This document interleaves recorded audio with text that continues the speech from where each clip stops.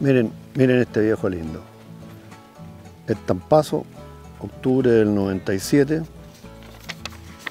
plenamente vigente como reproductor, con sus exámenes al día.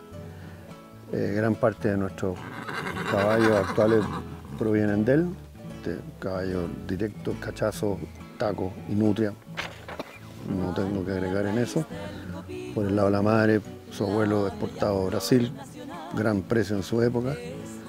La otra abuela no me toque, etc. Eh, se va porque estamos renovando sangre, ya estamos con bastantes hijos e hijas de él, así que ahora hay que renovar esa es la razón, darle la oportunidad a otro criador para que se dé los gustos que nos estamos, que nos hemos dado nosotros. Algunas de sus, de sus hijos están ya en las medias lunas y, y con muy buenas actuaciones. aquellos guerreros que caballo y caballero